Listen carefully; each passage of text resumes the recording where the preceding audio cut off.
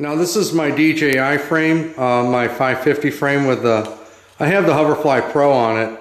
And I really like, after making my first quadcopter, um, this is a hexcopter, and I really like the gap in between the frame right here to get down inside and uh, work on stuff. And I like the idea of not having that bubble on the top with all the workings in it. I like putting the batteries up on top. So this is um, one of the ideas that I'm, I'm using right here to build the, the giant hexcopter. I want to take the same uh, engineering stuff and put it into the big big one I have. Now the big ones, they don't usually fly long and they're super heavy.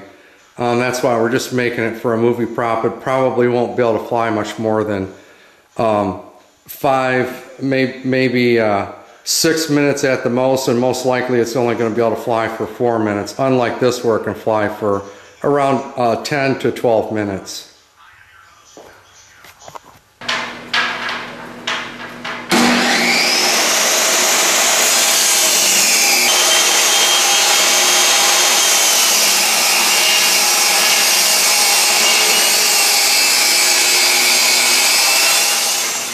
Now that I've got my inserts cut, I'm going to take each insert and pound it in.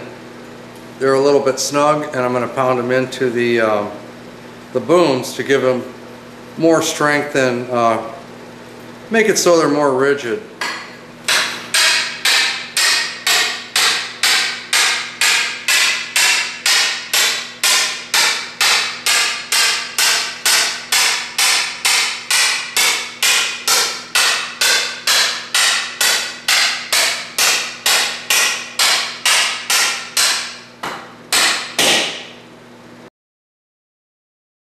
Now here's the uh, metal stock that I'm going to be using for the motor mount for the uh, Turnigy 5055. Now I did um, put my metal um, disc cutting abrasive um, blade on here and I'm going to start slicing the, uh, the piece of metal stock now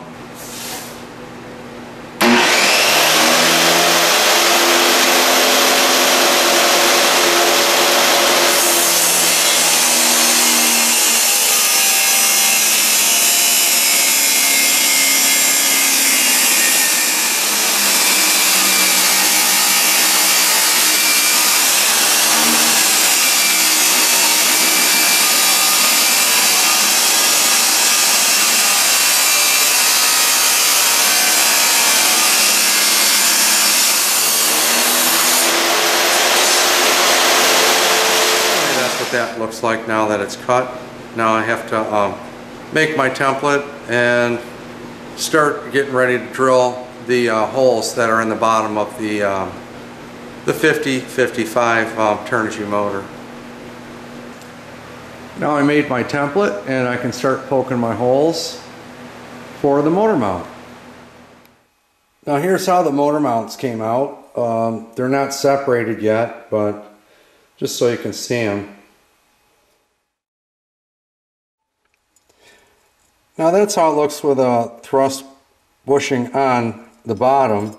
You see I can wiggle it around. You can see the holes right through. I'm starting on putting the holes in the base plate for the uh, giant hexcopter and I put together a quick little uh, template here so I can drill my holes all the way around the, the hex for the support and uh, anchoring of the booms and once I drill the holes um, I'm going to move this from each one of the, the boom points where it connects and poke my holes through and then once I have the hole set on the lower plate then I'm going to take and go to the upper plate and lay the, um, the, the bottom down on top of the center plate and then poke my holes through um, with a drill bit for the upper plate so they match up and line up all the way around. So I'm going to do that next.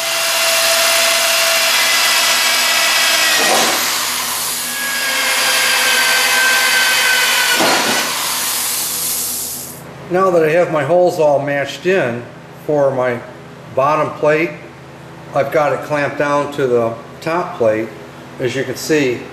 Um, and now I'm going to go around and drill out the, um, the top plate so the holes match all the way around for the booms to uh, fasten onto. So I'm going to do that next.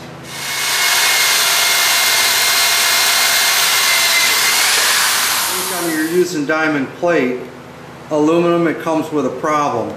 So if I take and leave it the way it is right now, and I bolt and connect my booms and tighten everything down, I've got these diamond plates that'll kind of kink and tilt the bolt or whatever I fasten these down with.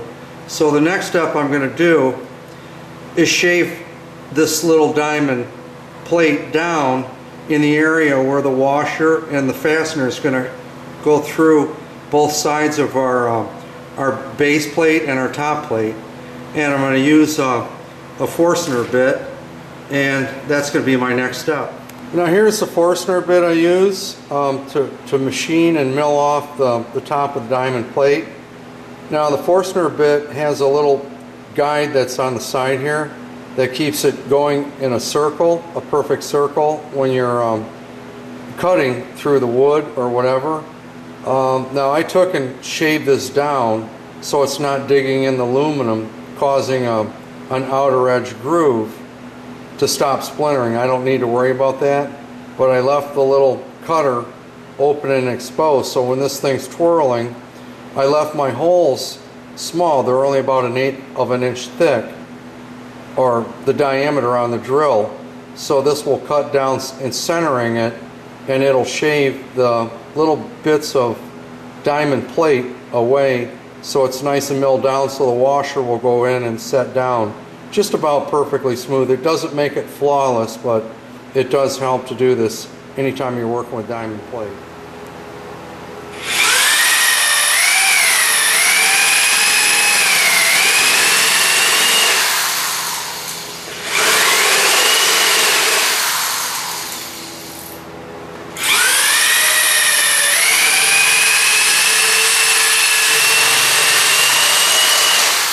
Now the washers will sit down nice and flush right through the uh, diamond plate as you can see. They're, uh, that's what it looks like when they've been milled down a little bit. Now this is the way the motor mount came out. Um, all six of these are going to be uh, mounted on the, the booms on the copter. I had to custom build these. So sometimes we run into problems with uh, mounting them in. Now I've got the holes in the bottom are, these are six, six millimeter um, screws that go in here. And they're, I'm going to screw these down in here. Now anytime we do anything custom, we want to make sure that they're not going too deep into the um, motor housing when we fasten this thing on. And if we, if they're, these are custom screws, so I have to trim them a little bit and feed these down through here. As we can see, they're a little bit, if I run them down through, they'll bump into the wires going into the, uh, the coils and the armature uh, inside on the motor. And we all know what happens um, if it has a short. It basically, you plug the battery and it looks like you have a firework. I put in a, a, a washer here and I'm going to take my grinder and cut the tip off. Now this little bit sticking out is the amount that's poking up into the wire. So I'm going to take my grinder and grind it right down to this um, six millimeter nut. And that'll make it so it threads right up into the motor once I remove this um, fender washer right here. And it'll go right up into the through the um, our motor mount and go right up into the motor. It'll give us exactly enough thread to get a good um, nice fasten without having to poke the, the uh, screw up into the wires.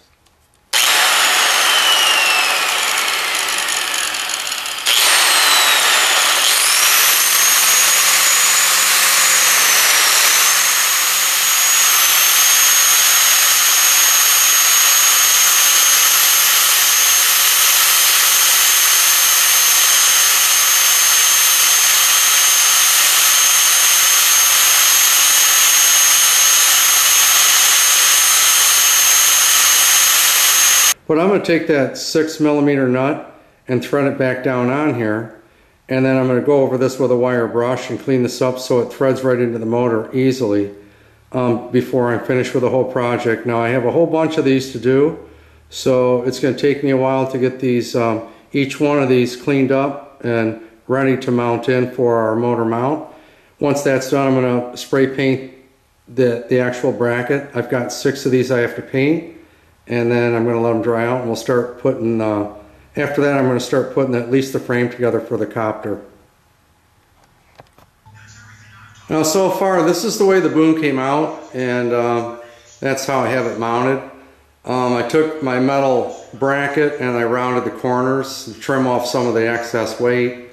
Um, I had to spend a lot of time and get the, uh, the fasteners, the screws that hold the motor onto the, this plate, this, um, so they don't go up inside and bump into the wire leads coming in from the motor. So I don't know if you can see that. It's, it's, try and turn it sideways, see if you can see down inside there, but I've got them nice and they're just perfect going up inside the motor and they stop before they reach the wires. It took me a couple days to cut these and, and make sure the threads were cleaned up on the ends. Now for the spacers, I took uh, some oak and I planed it with my planer and then I took a hole saw and cut these uh, plugs out and I put them and I use them right here. It's to help um, just lift this up a little bit. Now in between, in between the plug and the metal frame here I have a piece of rubber. This is uh, rubber neoprene and that will help um, dampen a little bit of the uh, shaking if it goes into a shake. Now at the, the other end of the boom I have, I, I made extensions in the, uh, so this elevates and spreads apart the frame so I can get up inside there um, and, and undo wires once in a while or, or make connections and stuff like that. And now I have six of these cut and I only have this one on for a sample right now. I'm going to start putting these in. Now that they're in, I have to drill through and make sure they're lined up with the, the top and the bottom plate. Okay, this is the final day. I'm done with the frame. I got pretty much assembled uh, the way I like it. Um, so this is the bottom side right here and I'll turn it, see if I can turn it around and show you the now this is the top where it houses the batteries, so you can see it. Um, I'm going to set it down here so you guys can see inside the frame.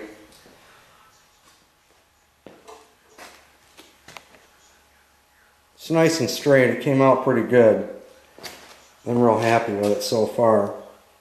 It's much more rigid than I thought it would be.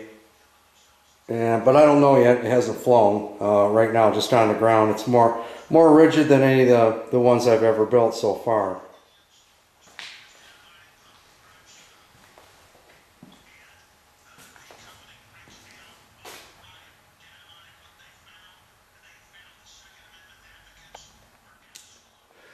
Well, I'm just about out of time as usual again. Uh, at least we got the frame assembled and I've got the motor mounts and everything all fastened in. Uh, the frame seems to be pretty rigid um, on the giant hexcopter. Um, you can see uh, the, I've got a couple DJI frames here in comparison to the size of the, the one I'm building. Um, now in the next episode I'm going to be uh, building the um, and fabricating up the power distribution center and connecting the 80 amp ESCs. So, till next time, this is 3-1 Pockets and thanks for watching.